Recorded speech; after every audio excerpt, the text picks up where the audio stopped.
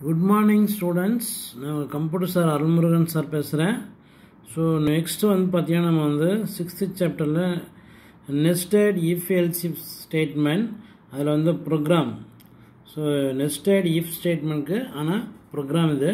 So example வந்து six point five as program to illustrate the use of nested if statement so நம்ம nested if ஸ்டேட்மெண்ட்க்கான program இது.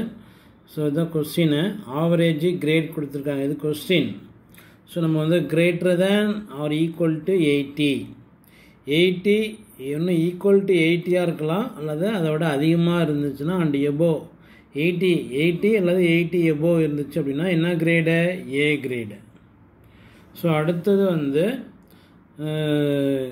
greater than or equal to seventy seventy and above and less than eighty எயிட்டிக்குள்ளார இருக்கணும். Seventy and எபோ ஆனால் எயிட்டிக்குள்ளார இருக்கணும். அப்புறம் என்னது?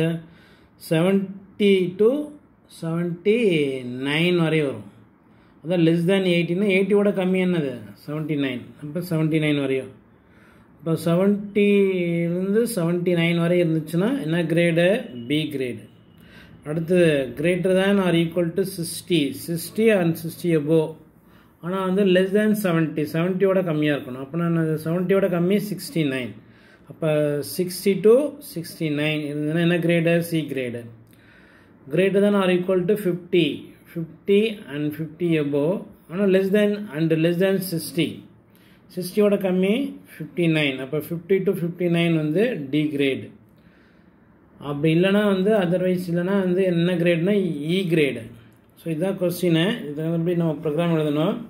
So program பார்த்தீங்கன்னா நம்ம வந்து ஸோ எம் ஒன் எம் டூங்கிறது வேரியபிள் இது mark one mark two M ஒன்ங்கிறது ஒரு வேரியபிள் எம் டூங்கிறது ஒரு variable so M one equal to int அப்படிங்கிறது ஒரு ஃபங்க்ஷன் நம்ம இன்புட் வந்து நம்ம நம்பரில் கொடுக்குறதுனால நம்ம வந்து இன்ட்டும் யூஸ் பண்ணோம் இன்புட் அப்படிங்கிறது ஒரு function get the input so double கோட்ஸில் பார்த்தீங்கன்னா prompt string so enter mark in first subject double கோட்ஸில் கொடுக்குறோம். இதான் வந்து ப்ராம்ப்ட் ஸ்டிங் ஸோ நம்ம இன்புட்டில் என்ன கொடுக்குறோமோ அது அப்படியே ஸ்க்ரீனில் பிரிண்ட் ஆகும்.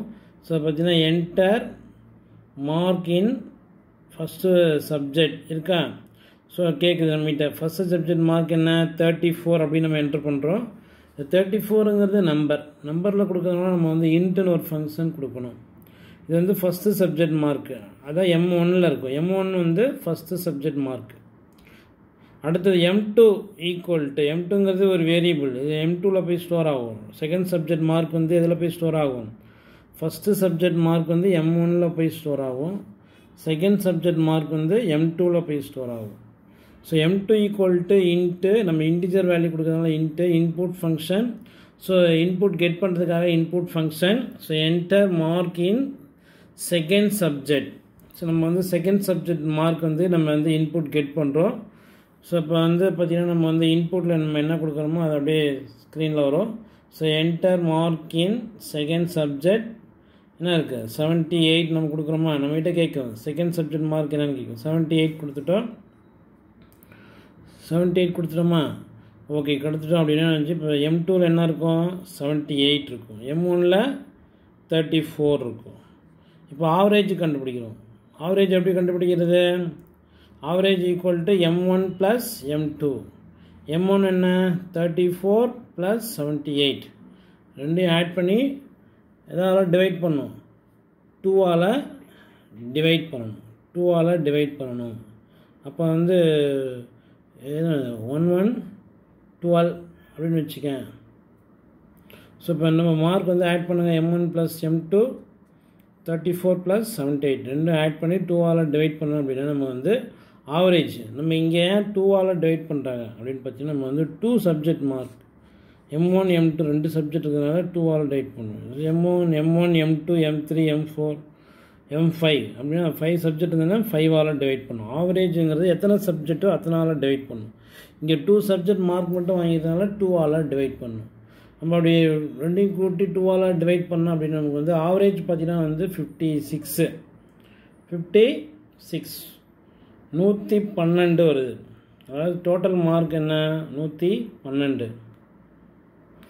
நூற்றி பன்னெண்டு வருது இல்லையா? நூற்றி பன்னெண்டு வருது. அந்த நூற்றி பன்னெண்டு வந்து டூவால் டிவைட் பண்ணணும் அப்படின்னு வச்சுக்கேன். என்ன வரும்? ஃபிஃப்டி சிக்ஸ் இது வந்து என்னது? ஆவரேஜ்